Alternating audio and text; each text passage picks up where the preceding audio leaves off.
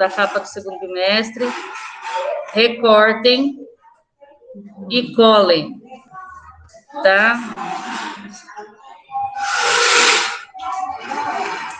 Recortem e colem a capa do segundo bimestre, para poder, para vocês poderem copiar a pauta.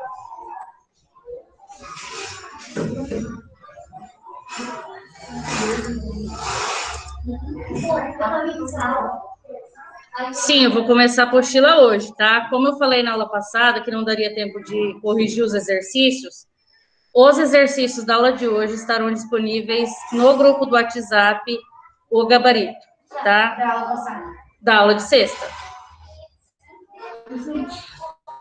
E, e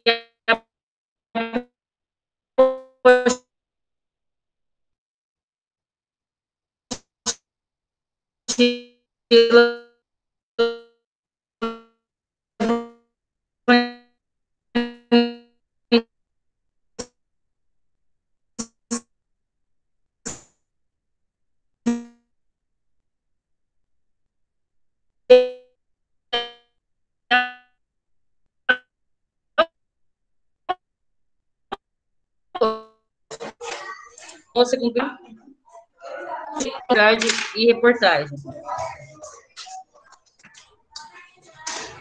Deixa eu colocar a pauta aí para vocês. Conteúdo notícia. Reportagem.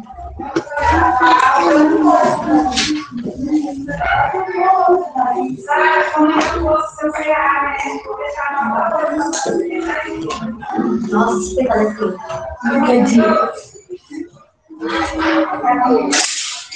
que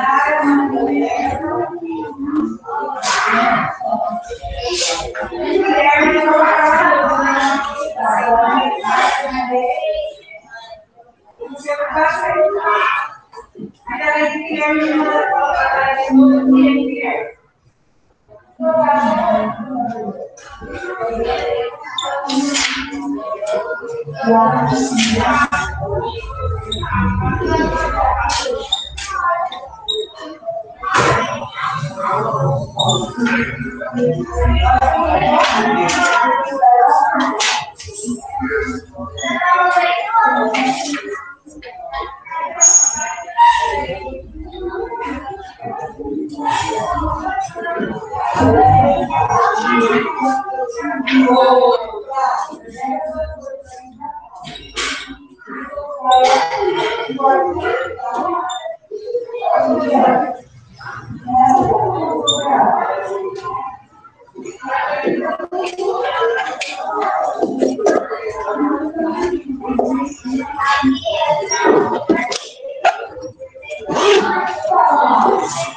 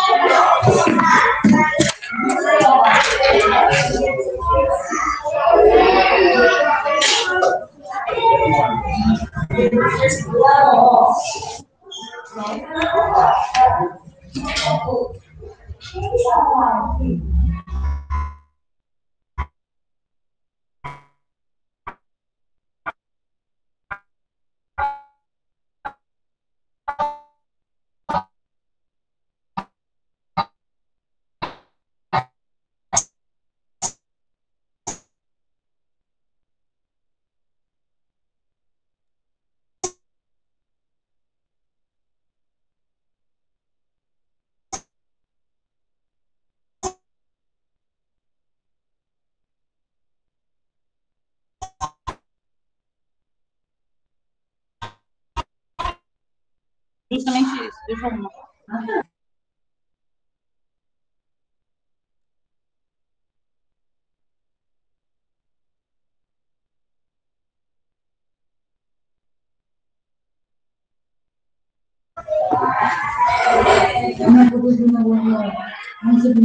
Pode confundir. Emily,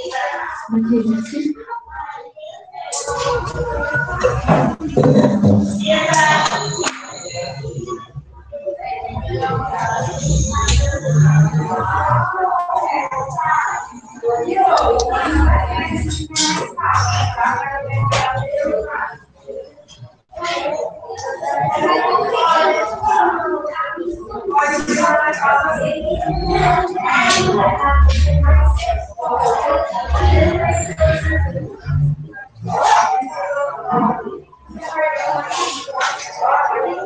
um pouco. Já,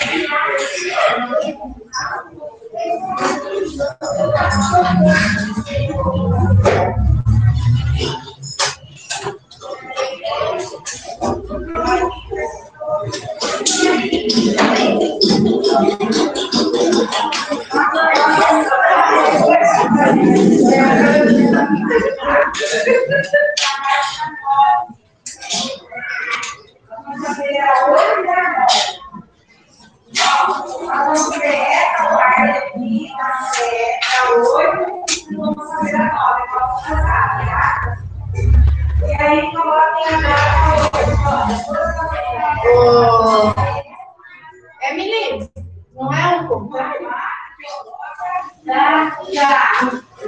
Jonathan, seu lugar é no segundo lugar.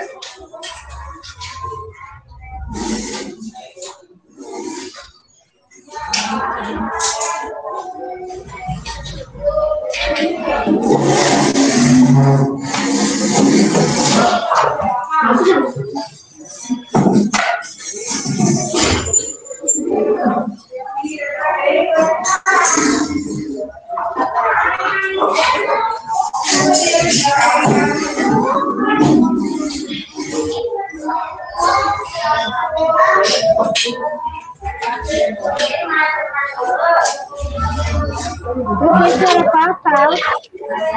Você não, eu não compartilhei? Não. Tô bem. Calma aí.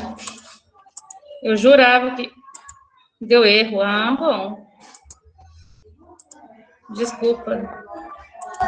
O que, que aconteceu?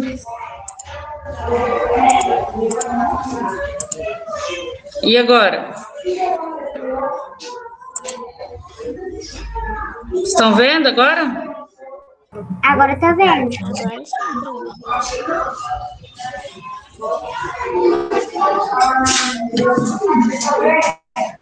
Então, o conteúdo é notícia. Eu vou explicar esses dois conteúdos por quê.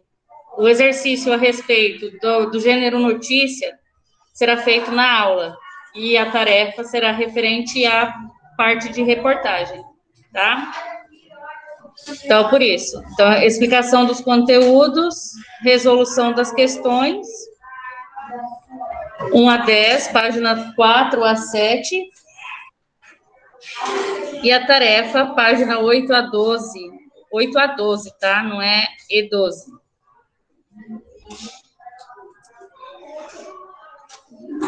Questões 11 a 21.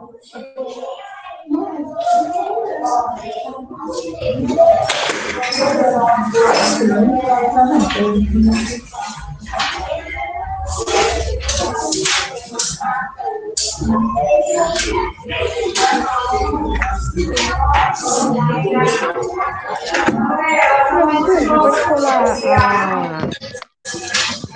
Antes da pauta, tem que colar. Ah, tá.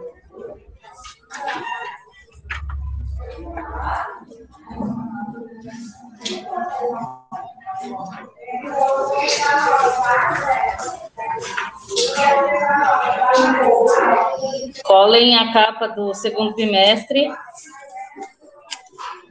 antes da pauta de hoje. Ah, professora, eu colei depois. Depois, como assim? Eu colei a capa depois da pauta. Fazer o quê, né? Não tem problema, não. Oi? É, já colou.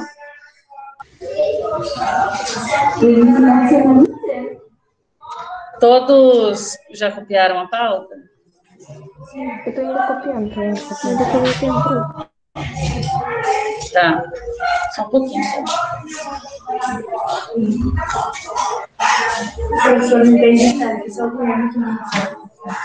Oi? Só o Guilherme que manda foto todos os dias, todos os dias, só o Guilherme.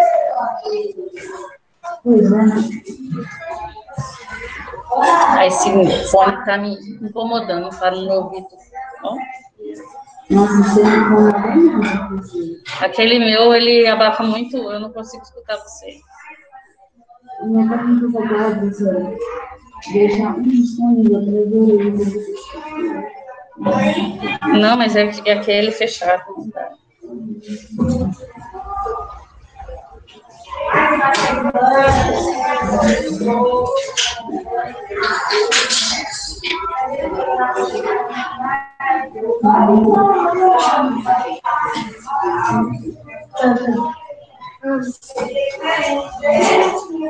Prontos?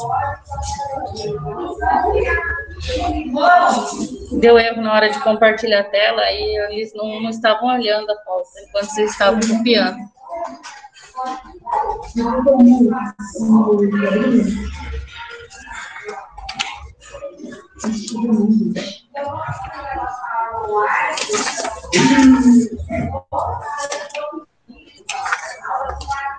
Eu vou começar, tá?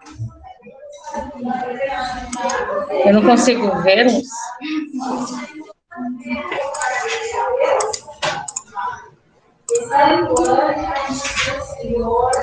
Eu não consigo. Sim, eu vou começar a mensagem. A mensagem, começar o bimestre.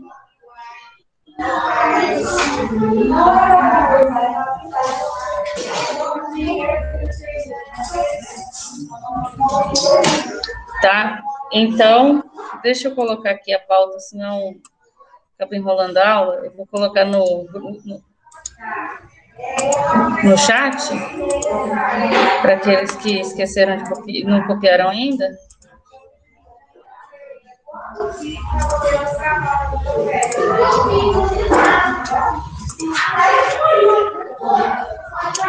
É, quando a gente fala de notícia, do gênero notícia, são três perguntas básicas que são feitas para poder criar uma notícia. Que é o título da, da, da apostila de vocês. O que, quando e como assim?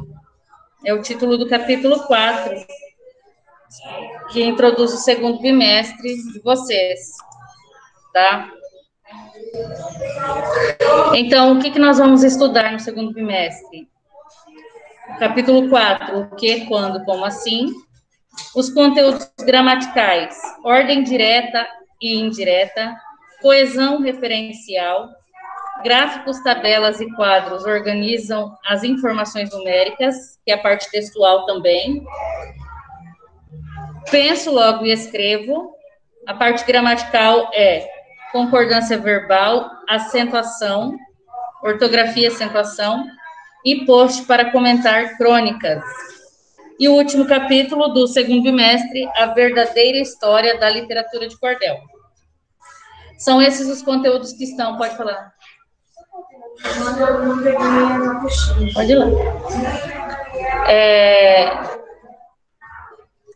Então, são esses os conteúdos que vocês vão estudar. Está na capa do caderno do, do segundo bimestre. Lis- Estão listados esses mesmos conteúdos na capa do segundo bimestre.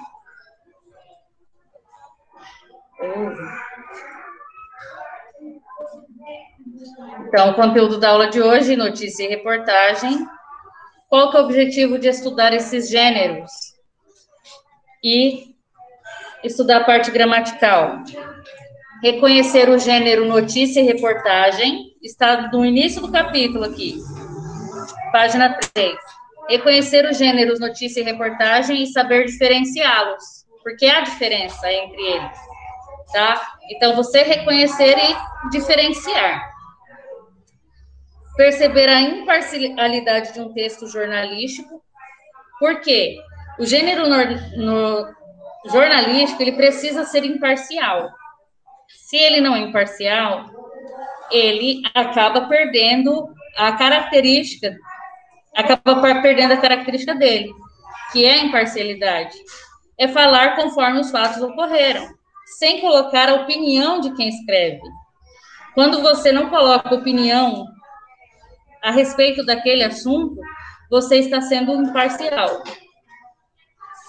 Participar de um diálogo argumentativo expondo opiniões e defendendo com argumentos.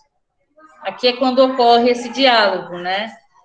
E expondo opiniões. Reconhecer e saber usar os pronomes como recursos de coesão. Quando vocês conseguem utilizar os pronomes, é, ele, os pronomes eles fazem parte do, da coesão textual, tá? Eles evitam a repetição de palavras quando vocês sabem utilizar conforme, né? Conforme a estrutura sintática. Identificar a oração em ordem direta e indireta. A parte de ordem direta e indireta entra naquele item da, do sujeito e predicado. Quando você coloca o predicado antes do sujeito, só um pouquinho.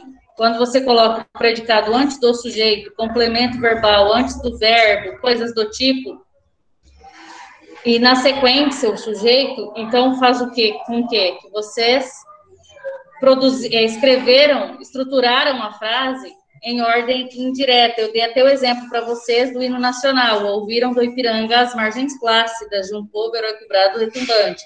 Em que as margens plácidas que ouviram então, ocorreu a inversão sintática. Pode falar. Os dois são. Notícia e reportagem são do gênero jornalístico, tá? O Deixa eu ver. Aí nós temos o texto, né, número de refugiados no Brasil aumentou 12% em 2016. Depois vocês farão um exercício. Na página, na página 6, tem os itens que se referem à parte estrutural do texto. Subtítulo, título, linha fina, a pontuação, os intertítulos, página 6, é, é o que está em cinza. Então, aqui é um resumo de como se estrutura o gênero jornalístico. Deixa eu colocar aqui. Então, nós temos as palavras cognatas. O que são palavras cognatas? São aquelas que têm. Isso daí está na página 4, tá?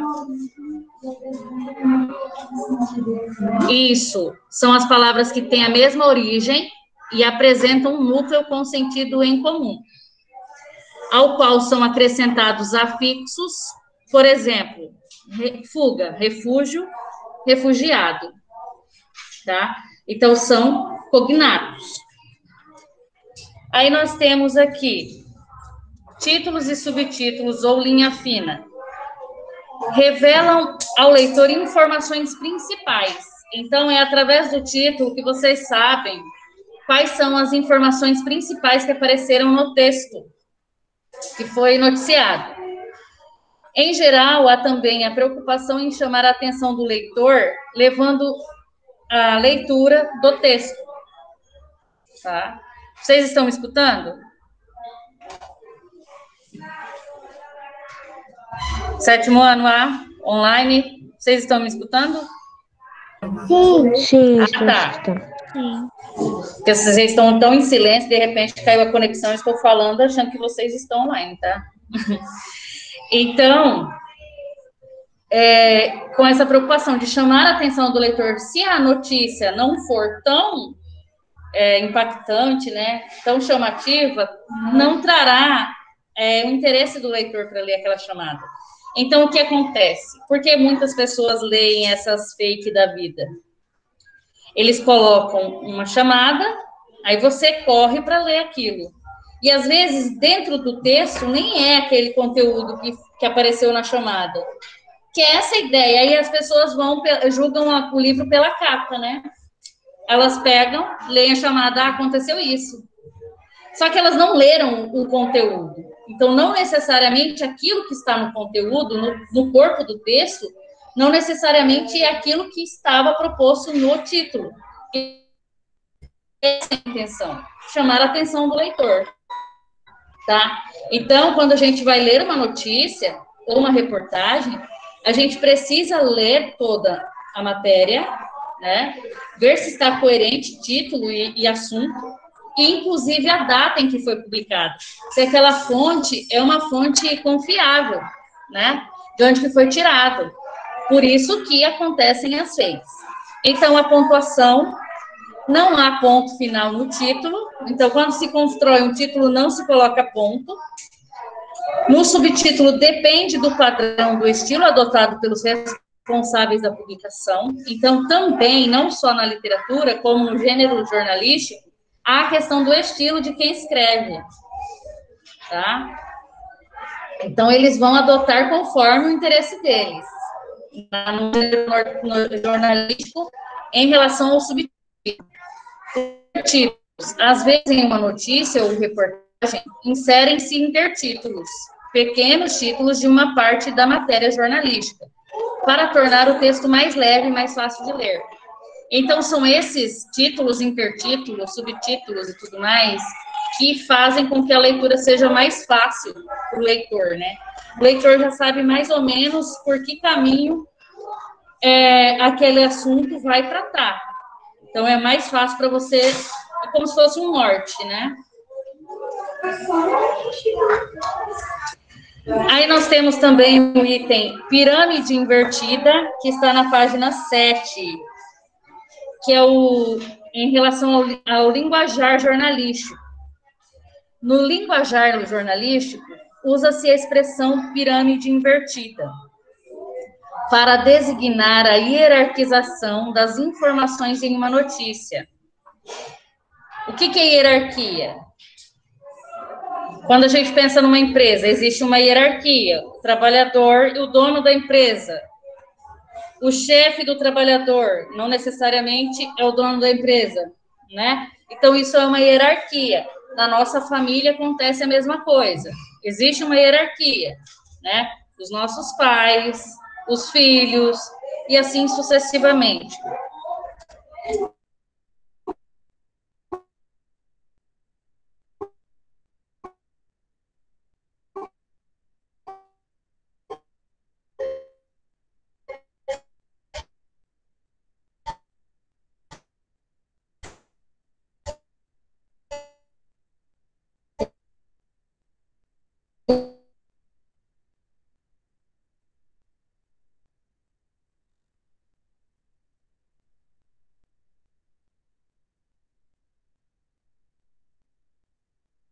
São construídos os textos, né?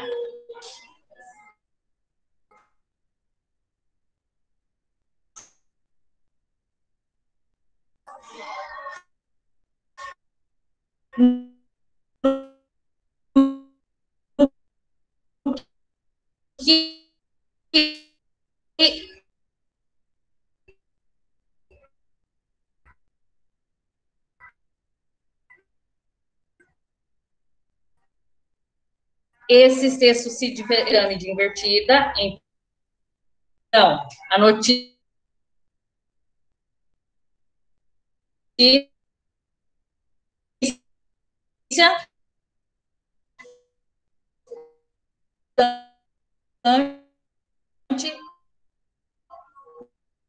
na reportagem é, ao menos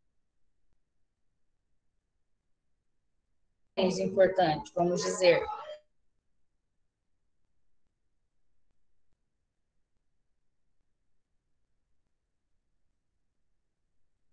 Será o texto.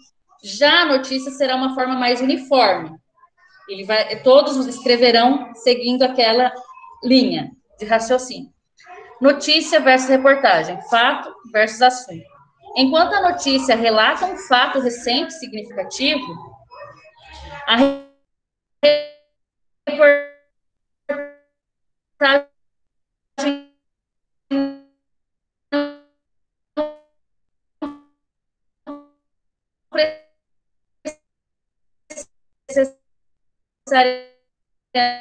relacionado a um acontecimento atual. Mas sim, o jornal, o Globo Repórter, ele trabalha em questão de matéria, de assunto. Então, ele vai falar sobre a fome na África. Então, ele vai falar só sobre isso naquele jornal. Assunto relevante ao dia a dia no comum. Positiva, informação. A tipologia expositiva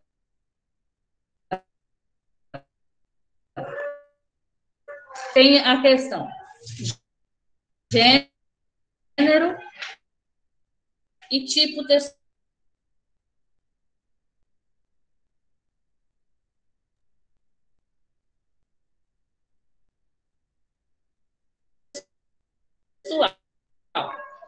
Gênero é notícia, é notícia, reportagem,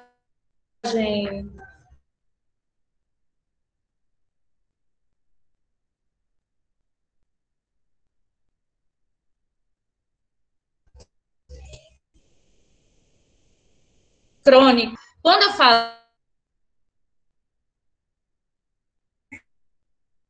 tipo, tipo, já na reportagem, a informação pode ser apresentada de maneira mais genérica. Tá? Imparcialidade. Tanto na notícia como na reportagem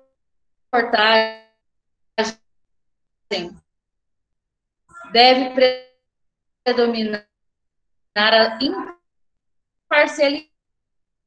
Então,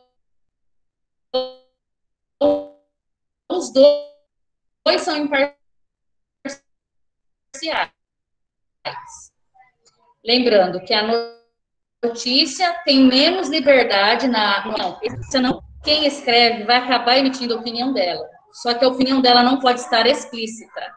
Explícito quer dizer o quê? Na cara. Ó, se escreveram alguma coisa, falem, tá? Porque eu não consigo ver, eu tenho que tirar aqui o slide. Escreveram, prof, você está travando muito, não dá para entender nada. E realmente você está travando muito.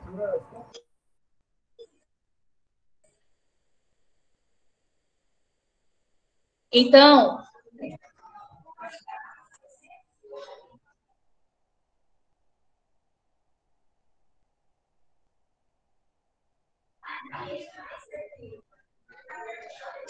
Sério? Deixa eu fechar aqui, vou tentar.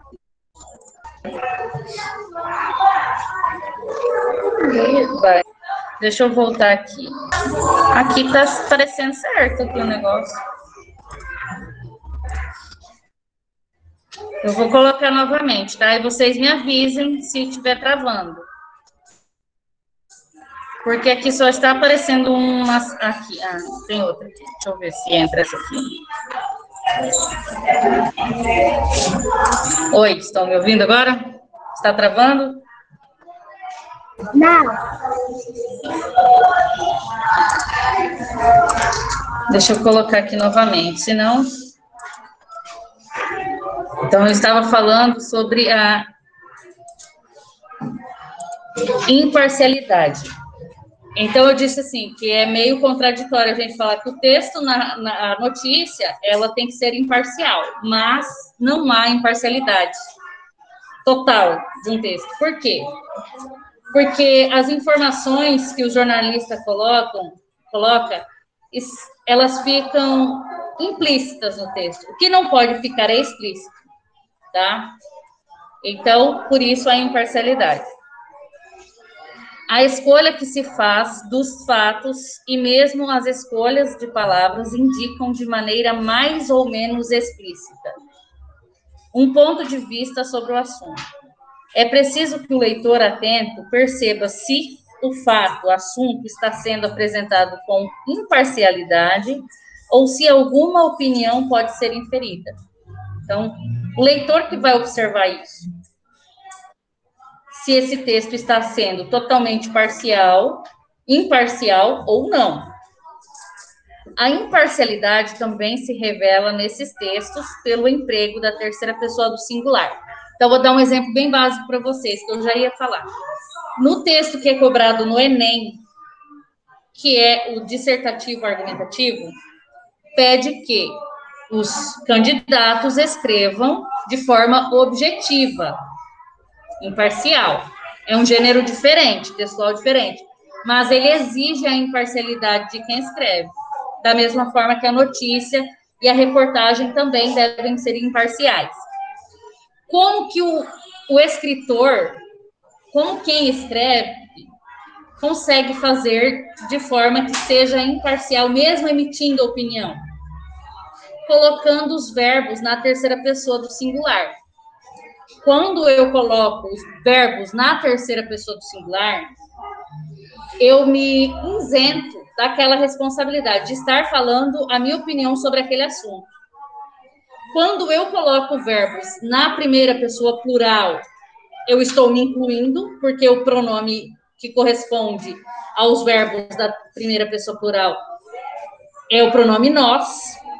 E se eu coloco eu acho, por exemplo, eu estou piorando a situação do meu texto. Eu estou colocando um texto quanto mais parcial possível. Porque eu estou emitindo a minha opinião. Eu acho. Eu acredito. Eu informei algo. Tá? Então, uma forma que vocês conseguem escrever de modo em que a, a opinião não seja totalmente explícita e seja imparcial é a construção do texto utilizando verbos na terceira pessoa do singular. Então, não é proibido colocar a primeira pessoa plural. Não é, mas não é o ideal. O que é proibido, o que é errado mesmo, é a primeira pessoa do singular. Quando que eu utilizo a primeira pessoa do singular? Quando eu escrevo um texto narrativo, um conto, ou quando eu escrevo um poema. O poema eu posso usar na primeira pessoa sem problema nenhum, porque ele é o gênero lírico. Há essa liberdade poética de falar sobre o meu sentimento naquele texto. Há uma liberdade de escrever uma, um conto ou um romance, porque o narrador existe um narrador na primeira pessoa, que é o narrador personagem, aquele que conta a história. Agora, quando eu vou narrar o fato, eu não posso colocar na primeira pessoa, porque eu preciso de um gênero em que ele esteja com uma imparcialidade, mesmo não, exigindo, não existindo totalmente essa imparcialidade, porque foi escrito por alguém. Não tem como ser imparcial se aquele texto foi escrito por alguém. Implicitamente terá a opinião dele, tá? Então, são esses os assuntos.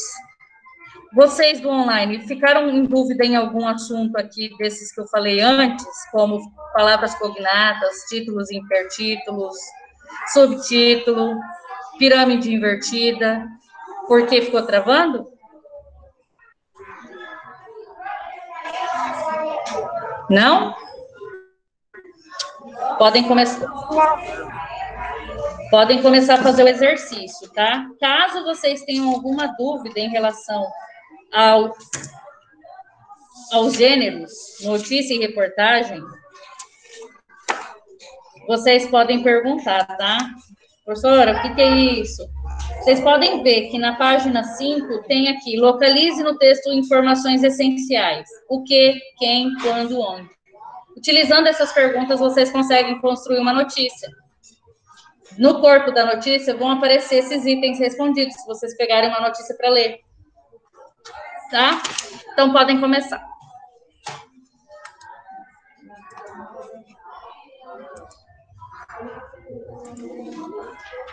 Vocês responderam as questões da página.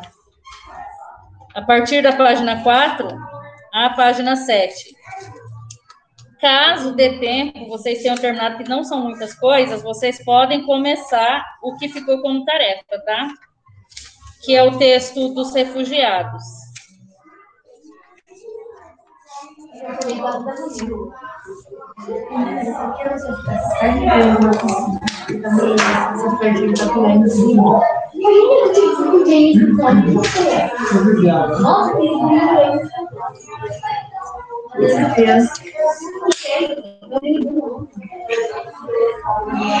um bebê de um ano muito bem. A dele é desse tamanho.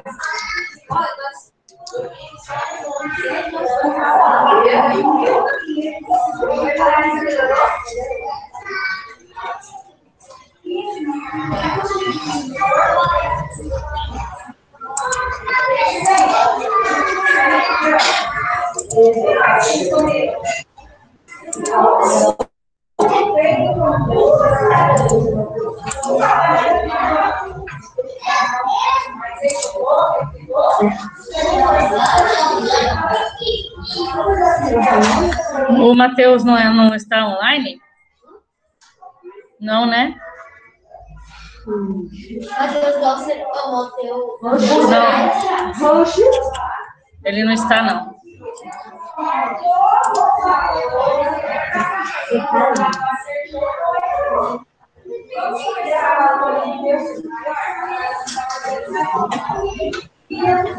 Você disse hoje?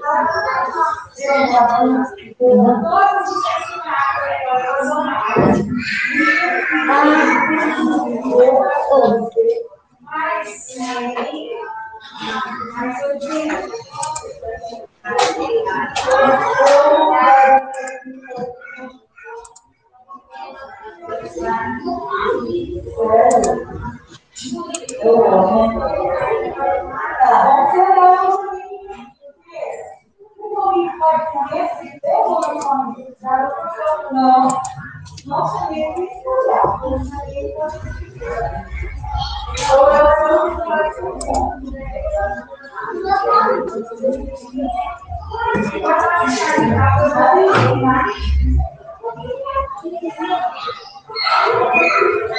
Eu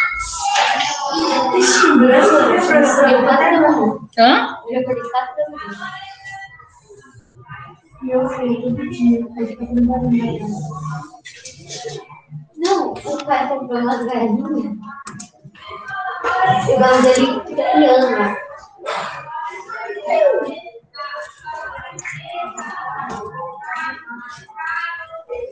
Thank.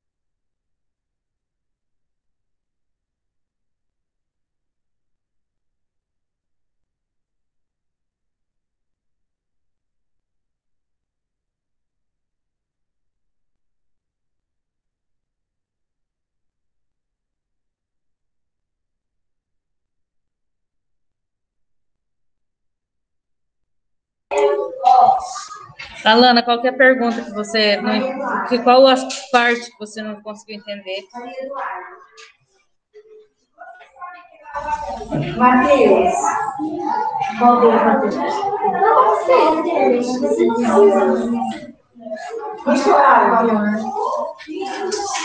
Vitorino.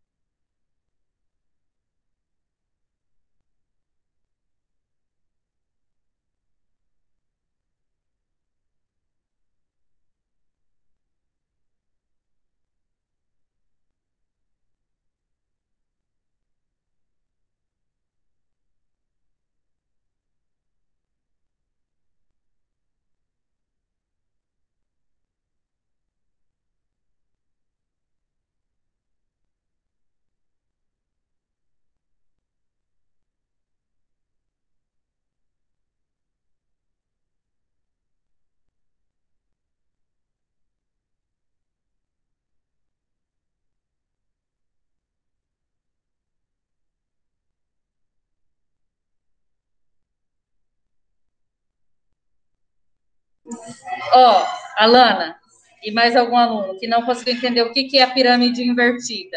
A pirâmide invertida quer dizer o quê?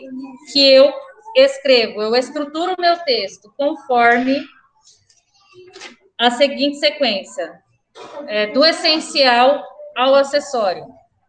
O, o essencial é a parte principal, primordial ao texto. E o acessório são as informações extras que aparecerão ao longo do texto, tá? Então, quando a gente fala em reportagem e notícia, a notícia ela privilegia, ela dá preferência a essa pirâmide invertida. Então, quando que ocorre isso? Nós temos a estrutura título, subtítulo, intertítulo e o corpo da notícia. Então, quer dizer o quê? Que no próprio título você vai ter, ter as informações necessárias para saber o que tratará a notícia, qual é o assunto abordado da notícia. E eu ainda disse que é importante vocês tomarem cuidado com as notícias fakes, por quê? Porque colocam um título importante, impactante, a pessoa olha já tem aquilo como se a notícia fosse aquela, e não necessariamente é aquilo que está no corpo do texto. Qual que é a ideia deles? Venderem informação. Eles, quanto mais gente visualizar, vocês sabem que tem essa questão na internet, né? Então, a estrutura da notícia é essa pirâmide invertida. Na reportagem, já existe uma liberdade no ato da escrita. Então, a forma que o, o jornalista vai escrever o texto vai ser de acordo com o que ele considerar melhor, não necessariamente nessa sequência de pirâmide invertida. Tá? Então, se for comparar esses dois textos, qual que é o mais, é, mais fechado? É a notícia. A notícia é mais fechada porque ela segue aquela estrutura. Ela não tem uma outra forma de ser, ser escrita, é aquela. Já a reportagem, não, ela já é mais aberta em relação à parte estrutural, porque o jornalista ele tem maior liberdade. Então, por isso que quando a gente assiste um telejornal, ele é mais formal. Se a gente for comparar os telejornais da Globo, vamos dizer, que é o que tem todos os horários, né, de manhã, tarde e noite, o Jornal Nacional ele é o mais sério. Você pode, vocês podem ver que os jornalistas eles, eles têm um tom assim mais formal do que os, jornali, os jornalistas do, vamos dizer, Jornal Hoje. O Jornal Hoje é mais descontraído em relação às notícias e até as reportagens que aparecem lá. Agora, se a gente for pensar no Globo Repórter, que eu dei como exemplo, ele traz reportagens. Eles pegam um assunto que, que é relevante à nossa sociedade e fala durante todo aquele período do programa. Já o Jornal Nacional, por exemplo, vai trazer o quê? Várias notícias que aconteceram durante o dia, que foram noticiadas no Brasil e no mundo. Tá? É essa a ideia do texto, dos textos notícia e reportagem.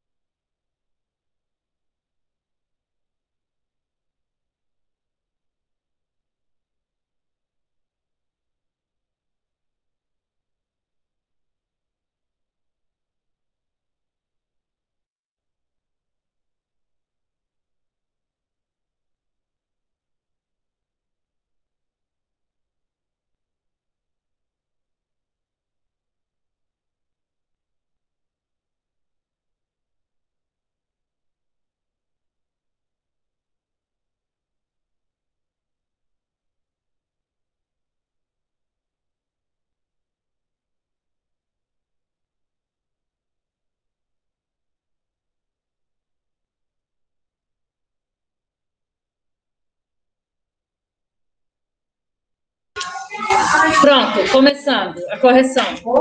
Página 4.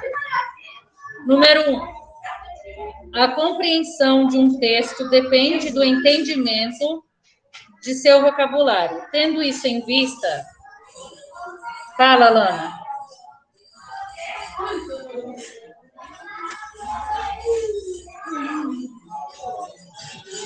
Tendo em vista isso em vista, resolva a atividade seguinte. Ah, tá, beleza. É, localize e sublinhe no texto sancionada entrará em vigor e inviolabilidade. Então, está lá na, na página 4 mesmo, no início do, do parágrafo, o verbo sancionada entrará em, em vigor na mesma linha e na próxima linha, inviolabilidade. É para vocês sublinharem no texto, tá? Letra B. Considerando o contexto relacione essas palavras e expressão aos significados apresentados. Se necessário, consulte um dicionário. Sancionada significa passará a produzir efe seus efeitos, aprovada, confirmada, ou garantia de que seus direitos serão exercidos, não serão violados, desrespeitados. Aprovada, confirmada é a resposta correta. Entrará em vigor será o que? Passará. Passará a produzir seus efeitos, correto. Inviolabilidade é a garantia de seus direitos, tá? Então a ordem ficou 2, 1 e 3. Letra C. A que área do conhecimento essas palavras e a, é, essas palavras e a expressão pertencem? Sociologia, geografia ou direito? Direito. Direito. Quando nós falamos em legislação, em leis, estão relacionadas à área do direito. Número dois, a pátrida e a patridia, que aparecem no último parágrafo do texto, são palavras cognatas. Letra A. Elas derivam de qual palavra? Pátria. Pátria, correto. Relacione as a seus significados, conforme os contextos da notícia. Apátrida significa indivíduo que não tem nacionalidade ou cidadania, situação de quem se encontra sem nacionalidade, sem cidadania. Apátrida é o indivíduo que não tem nacionalidade ou cidadania, e apatridia significa situação em que se encontra sem nacionalidade e sem cidadania. Vocês podem observar que o prefixo que apareceu antes do radical, pátria, né, da palavra pátria, que é a palavra derivada, esse A indica negação, tá? Esse A, que é o prefixo, ele significa negação, que não há. O que não há, não há nacionalidade, tá? Então, várias, vocês vão encontrar várias palavras com esse sufixo que elas vão significar esse, essas, elas vão trazer essa significação de negação de algo, tá? Pesquise e registre pelo menos outras duas palavras cognatas, a pátrida e a patridia. Patrio, pátria, patriota, patriotismo, compatriota, repatriar. Tá certo tá? Vocês podem acrescentar após essas palavras, vocês coloquem o radical e coloquem patri até o i e o hífen. Tá? Ô, professora, eu coloquei patri e patria.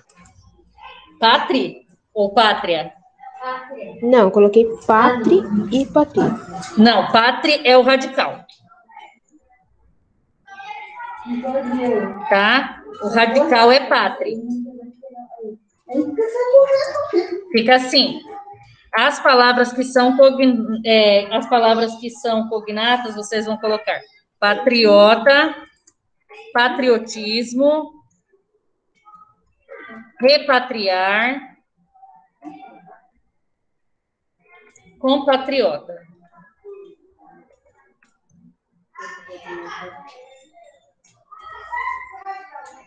essas palavras são cognatas de, são derivadas da palavra pátria. Número 3. Do gênero textual em vista, visa atender uma finalidade. Qual é a finalidade de uma notícia? Conversar informalmente com o leitor sobre o fato que está sendo noticiado, informar o leitor de forma direta sobre o fato que está sendo noticiado, ou transformar o fato noticiado em uma notícia fictícia, uma narrativa fictícia, a fim de conquistar o leitor pela emoção. Informar. Informar, tá? Sobre o que está sendo noticiado. Número 4. Uma notícia deve responder algumas perguntas básicas, essenciais para que sua função de comunicativa informar o leitor se efetive. Se efetive. Letra A. Localize no texto essas, estas informações essenciais. O que está sendo noticiado? O aumento do número de refugiados. Não, o aumento no número de reconhecimento de pessoas que estão em situação de refugiados. O, o aumento no número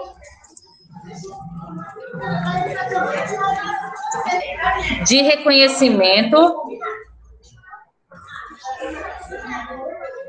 de pessoas. Oi? Que estão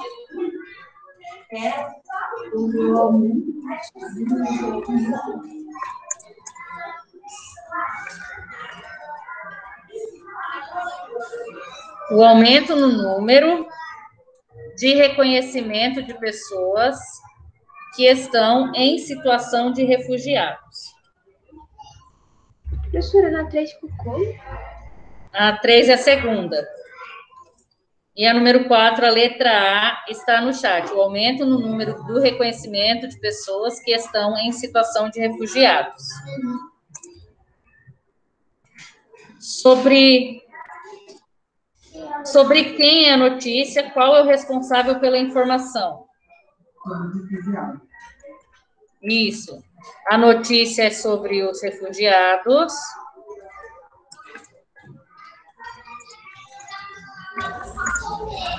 Os refugiados no Brasil, tá?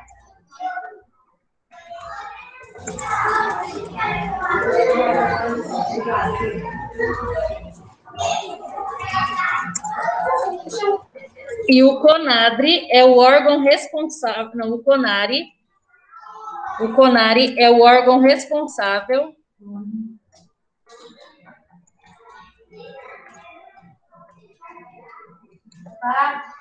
pela informação.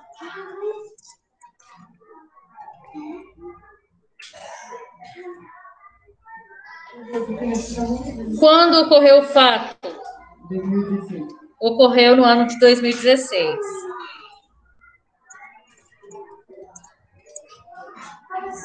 Oi. Conari. Conari. C-O-N-A-R-E.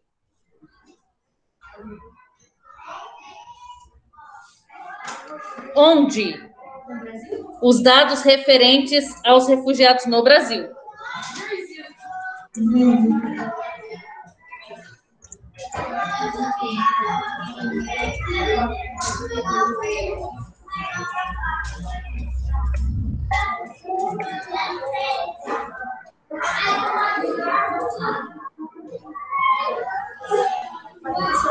Número 5.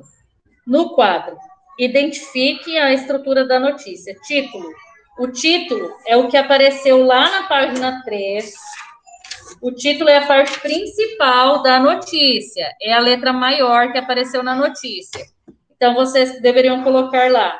Número de refugiados no Brasil aumentou 12% em 2016.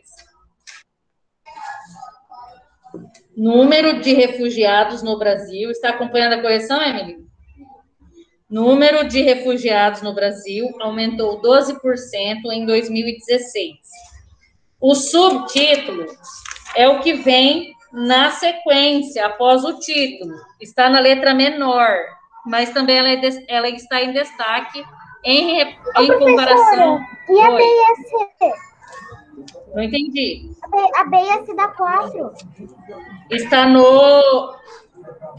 Ah, eu pulei, disfarce. Ah. Eu pulei, disfarce. Mas faz a 5 agora. Depois eu volto na B e na C. Número de refugiados no Brasil aumentou em 2016, 12% em 2016. Vamos terminar 5, aí eu volto na letra B e na letra C, que eu esqueci.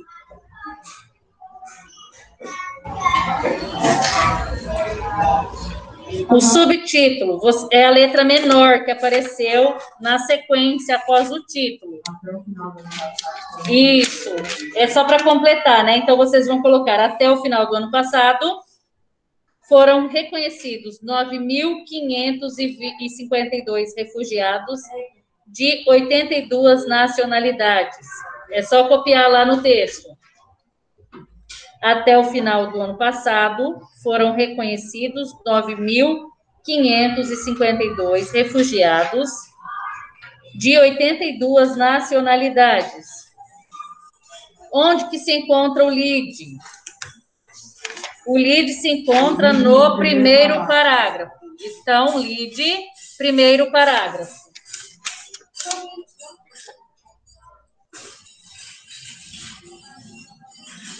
O corpo da notícia, do segundo ao nono. Do segundo ao nono parágrafo. Corpo da notícia. O lead, o primeiro parágrafo. Isso. Não, o corpo da notícia, do segundo ao nono. O lead é o primeiro parágrafo. Tá? O subtítulo é o título que apareceu após o título, que está também destacado, mas ele é menor do que o título, né? Por isso, subtítulo. A letra B, da número 4 que eu pulei, é o primeiro parágrafo, tá? Em que para, parágrafo você localizou essas informações? Primeiro parágrafo. Então, quer dizer o quê? Que é no lead que vocês vão encontrar as primeiras informações, né? Referentes ao texto, primeiro parágrafo. Letra C. Na estrutura de uma notícia, como se chama o parágrafo com as informações essenciais do fato noticiado? Um lead, tá? Então, a letra B é o primeiro parágrafo e a letra C é o lead. Na número 6, releia o título e o subtítulo. Olha só, esse, esse texto já, esse enunciado já responde a número 5. Quem teria dúvida na hora de responder? Porque aqui já está falando que aqui tem o título e o subtítulo. O título é Número de refugiados no Brasil aumentou em 12% em 2016. E o subtítulo, até o final do ano passado, foram reconhecidos 9.525, 52, quer dizer, refugiados de 82 nacionalidades. Que relação estabelece entre as informações apresentadas? Que o título e o subtítulo apresentam informações complementares. Que o título e o subtítulo apresentam informações complementares do fato a ser, a ser noticiado. Que o título e o subtítulo apresentam informações complementares. Número 7 Observe a sequência dos termos nas frases que formam o título e o subtítulo. Complete o quadro identificando sintaticamente os termos sujeito, verbo e complemento que compõem o título. Refugiados de número de refugiados no Brasil pertence ao quê? Sujeito. Sujeito. Aumentou. Verbo. Verbo. Complemento é 12% em 2016, correto? Identifique agora os termos que compõem o título. Até o fim do ano passado é o complemento. complemento. Foram reconhecidos verbo. verbo. Lembrando que isso aqui nós temos uma locução verbal, porque tem mais de um verbo, tá? O verbo auxiliar e o verbo principal. Sujeito é o refugiados de 82 nacionalidades. Não, é o contrário. Lembrando que nós temos a ordem direta e a ordem indireta, né?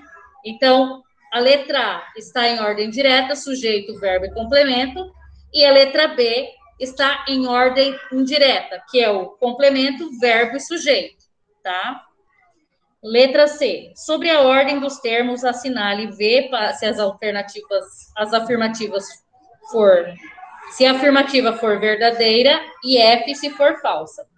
A ordem direta no título contribui para que a informação seja apresentada ao título de maneira mais clara? Verdadeiro.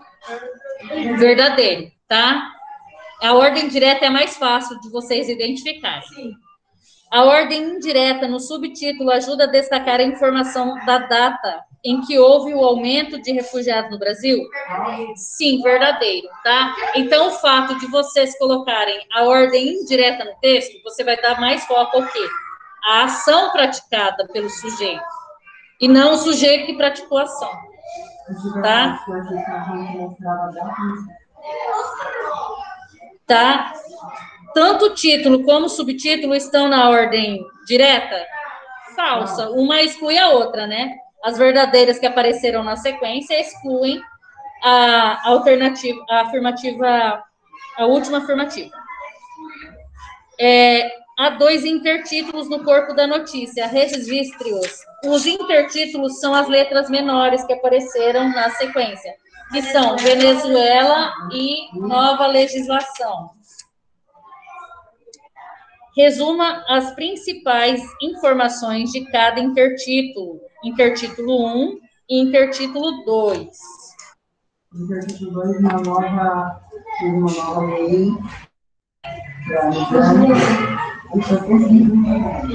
Coloquem assim no intertítulo 1, tá?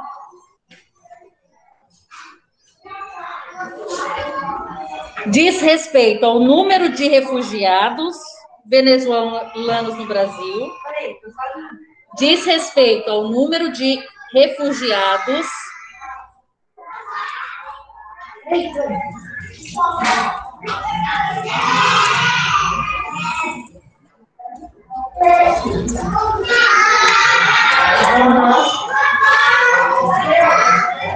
número de refugiados venezuelanos no Brasil.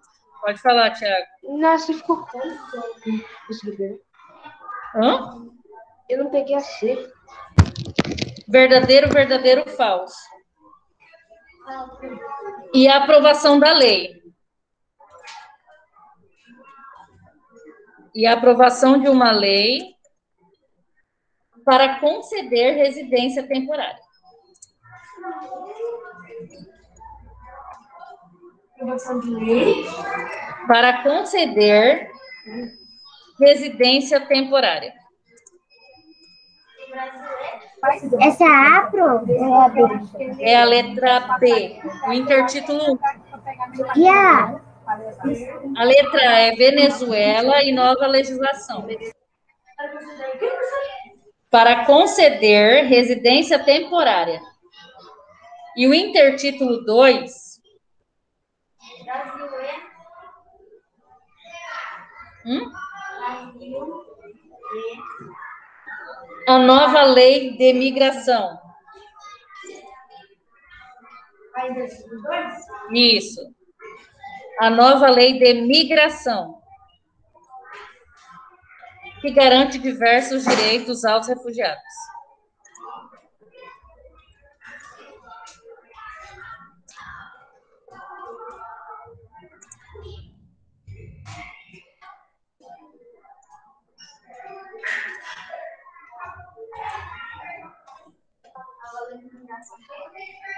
Nova lei de imigração que garante direitos aos refugiados. O LID, da número 9, é dados sobre o número de refugiados no Brasil. Dados sobre o número de refugiados no Brasil. Número, o LID, número 9, né? Você vai muito rápido. Tá. A dois? Oi? A dois? Dois do quê? A nova lei de imigração que garante o direito, garante diversos direitos aos refugiados. Nova lei de imigração que garante diversos direitos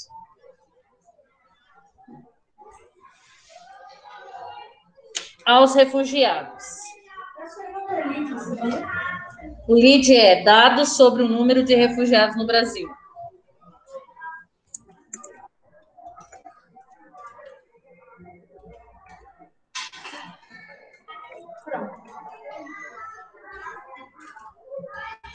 A aula terminou, tá? Então, na próxima aula eu vou concluir isso. Até a próxima aula. Professora, mas aí e a B e a C? Eu, ter... ah, eu já terminei. Na próxima aula a gente vê isso, tá? Que eu vou ter que encerrar aqui, que eu preciso sair. Obrigada. Até a próxima aula. Tchau.